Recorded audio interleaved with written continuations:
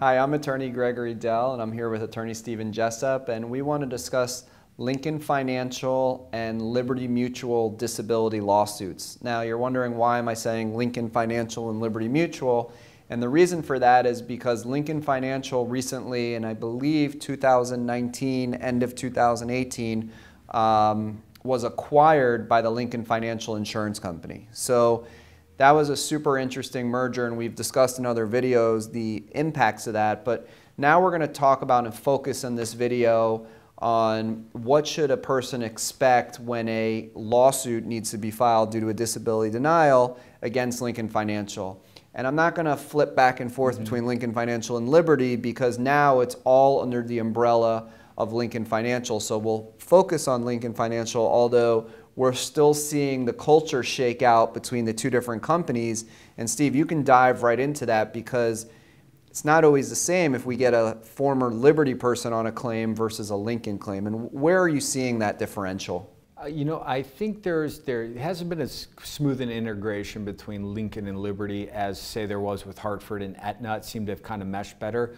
Um, I know for sure that former Liberty in-house attorneys are still handling, handling those Liberty cases and Lincoln the same way. So it, it's, it's even the claims processing. You know, Liberty, by the way, they've changed the name officially from the Liberty Life Assurance Company of Boston to the Lincoln Life Assurance Company of Boston. Uh, but under those policies, for instance, they, they require one level of appeal, and that's all you get before filing of a lawsuit. Lincoln requires two levels of appeal before filing a lawsuit.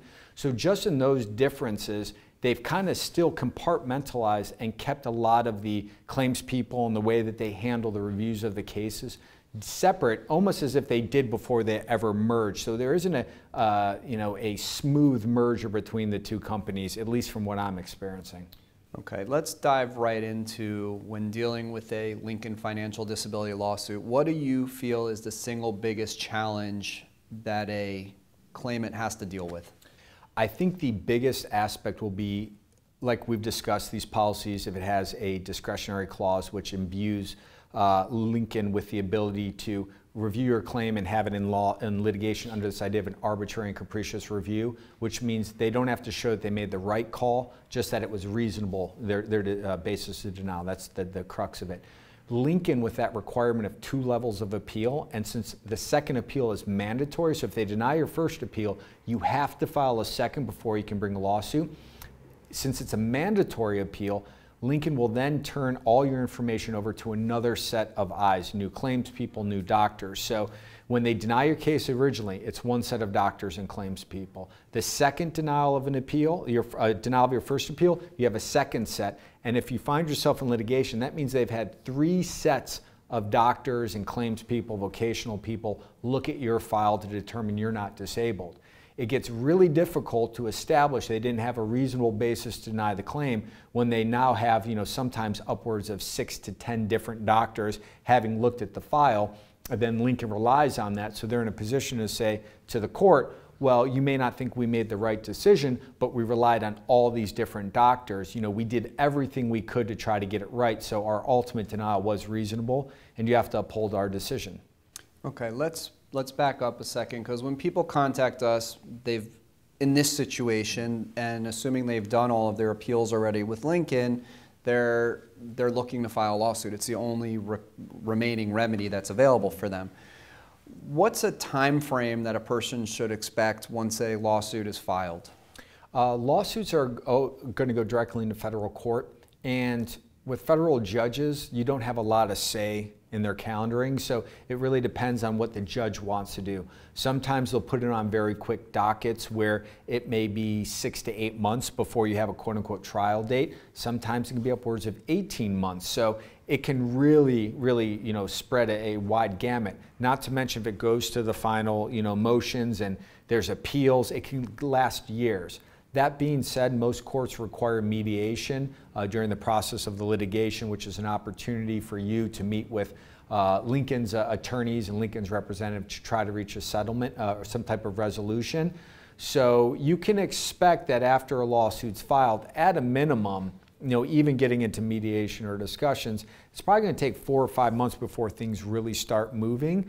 What makes it hard with Lincoln claims, because of that two levels of mandatory appeal, you may already be well over a year since your claim was denied. So it's drawn out. It's a drawn out process, which I find for people under Lincoln policies, they have to endure it much longer than people who are falling under the Liberty policies. And when a person's determining filing a lawsuit, some people get it and they immediately call a lawyer. Mm. Other people put it down and don't deal with it for unknown periods of time. But there's a thing known as a statute of limitations. And can you explain what that is and why it's important to take action quickly if your claim has been denied? A statute of limitations is, is a legal you know, term in the sense that you have X amount of time to file a lawsuit. If you don't file it within that time, you're forever barred from doing it. Now, there have been some recent changes uh, into the regulations of ERISA. And Lincoln, I will say more so than most other insurance companies, even if questionably, you know, the claim is before the updates and regulations, in the final denial, they give you the exact date that you have to file the lawsuit for. So before, where it was kind of left up to interpretation, now they give you that exact date to do it. Um, but if you miss that date, realistically, there's, there's nothing an attorney could do for you. So if you get that final denial, you really want to act quickly. Not to mention, I mean, you've been going without any type of benefits payment, what's, whatever the case may be. So I'd imagine that you'd want to see about trying to get, you know, to, you know, resolution money somehow. And there's been situations where people have waited to contact attorneys. Social Security gets approved. That's not going to be part of the case, but Lincoln finds out, and all of a sudden they're getting letters hey, you owe us money. So it's best to act as quick as possible once you get that final denial. Okay, a lot of people who call us, they just want to get their benefits paid. Mm-hmm. And they think that if a lawsuit's filed and they win, that they're going to be on claim forever. Because a lot of people get approved for Social Security disability, they don't really, they get approved and they don't really get hassled much at all, and they kind of once every five years get asked a question. But let's talk about what are the remedies that are available um, if you are to win your Lincoln Financial Disability lawsuit? The most that you can really hope for is a judge finds that you know you're entitled to benefits, uh, requires that Lincoln reinstates your claim, meaning you're put on claim, uh, and then puts an order for the payment of back benefits. Uh, a judge can't award future benefits. He can't guarantee that they won't deny your case. And then even when it comes to an attorney fee, it's up to the discretion of the court whether or not one, they'll, they'll award and pay anything, and then how much they're willing to pay. So a lot of people think, oh, if I win, they're going to have to do all this. They're going to have to pay me for, you know, I lost my home, pain and suffering. That doesn't exist. The law only allows you to, uh, to recover unpaid back benefits and then be put back on claim. That's the best. You can be put back on claim, and Lincoln could, it, theoretically, the next day, send you updated forms. They want information because they're going to start reviewing and assessing your case again. And even if they've lost once, it doesn't mean that they won't look to try to deny you again. And at that point, they've already learned from their mistakes. So if they are going to try to deny you at that point, they're really going to get all their ducks in a row. Okay. We very often see that with, and, and this is universal, not just to Lincoln, but the vast majority, and I would say greater than 85% of the claims against Lincoln Financial resolve in a lump sum settlement in litigation. What is this lump sum settlement and, and what does that mean if you accept one? So a lump sum settlement is basically, if, if you know anyone's watched legal shows, they're going to pay you X amount of money to, for you to forfeit your rights under the policy, to dismiss the lawsuit. Um, so you're without coverage. That's done, it's gone, everyone kind of goes their own separate ways. There's going to be certain provisions like confidentiality provisions that'll protect the company and also protect you, just kind of keep everything, you know, between the parties. Uh, so if you accept a lump sum settlement, you're taking money to surrender your coverage. Uh, and Lincoln will also have in there that they would never insure you again. So if you started working for another company that offered Lincoln, you wouldn't be able to be covered under that specific disability plan. Um, also with that in the lump sum settlement, everyone's legal rights have ended. So some people get worried, well, what if I go back to work? Are they going to try to say that I committed fraud or something? Once a settlement's been signed, you are free to go back to work, do whatever you may do without fear that they'll come looking, you know, for, you know, be paid back the settlement amount. And in terms of uh, obviously everyone wants to know like how do we charge for these types of cases? Because litigation takes a tremendous amount of time. Uh, legal fees hourly fees get very expensive. Obviously someone who doesn't have any income isn't going to pay by the hour for this kind of case. So can you talk about our attorney fee structure and what impact that has on a claimant? Yeah we only litigate on a contingency fee basis so there's no money up front we don't get paid unless we get you paid. Uh, it's a percentage of either the lump sum settlement or if we go all the way to court and you're awarded the back benefits and then going forward we stay your attorney.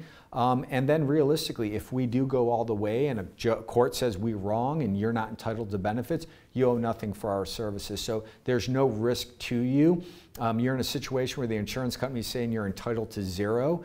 And even though we can't guarantee an ultimate outcome in court, um, we can tell you certainly that during the process of mediation negotiation, that zero Lincoln's been telling you they're going to pay you is only going to go up. So, with a contingency fee arrangement, no risk of being out of pocket any money, you really have nothing to lose in trying to pursue legal action against them. Right. And, and ERISA has a lot of pros, well, a lot of cons, mm-hmm. but one of the particular pros is, and the fact that we handle these cases all over the country and have litigated in courts nationwide, is that if you file a lawsuit against Lincoln, you are never going to need to leave your home to appear in court. Mm-hmm. Now, that could be a pro because you're saying, I don't want to be bothered by litigation, I don't want to be deposed, I don't want to have to go anywhere. But at the same token, there are no depositions and there is no official day in court where you're going to have to testify. Mm-hmm. So I think overall that's a disadvantage. The only potential pro is to say, look, my lawyers handle it. If they need something, they'll let me know. But basically, no one's going to talk to me, and I don't have to do anything, you know, unless the lawyers ask me. So it's basically a totally hands-off process from your perspective as a claimant, and absolutely nothing's going to have to be done for you. So you definitely don't want to push this to the side and not do anything, which unfortunately some people do. And you also want to make sure you get the best lawyer possible that you can who has experience in handling these claims and has handled hundreds of these types of long-term disability ERISA governed claims because these are it's a very specialized area of the law um, very unique. And if you don't know exactly what you're doing in this area you will get eaten up by the insurance company. I mean lincoln financial for example is a multi-billion dollar company that has a team of lawyers and in-house people that have done thousands of these claims and they do that annually. So please take the time to look around our website, look at our experience in handling these cases. If you're in a position where you have been denied, it's a very easy process just for us to evaluate your claim. And what that involves is go ahead and email us or fax us a copy of your denial letter. We'll also want a copy of your policy. We'll immediately set a free initial phone consultation with you. We'll spend as much time as you want on the phone to review your claim. And we're going to let you know at the end of that call whether or not we think we can help you. If we can help you, we're going to tell you immediately what our fees and costs are going to be. Again, there's going to be no charge unless we make a recovery for you, so that part of the process is very simple. Thank you for considering our firm. Steve and I are available at any time to take your phone call or email, and most importantly, you should know that we can help you anywhere in the country. So at your convenience, give us a call.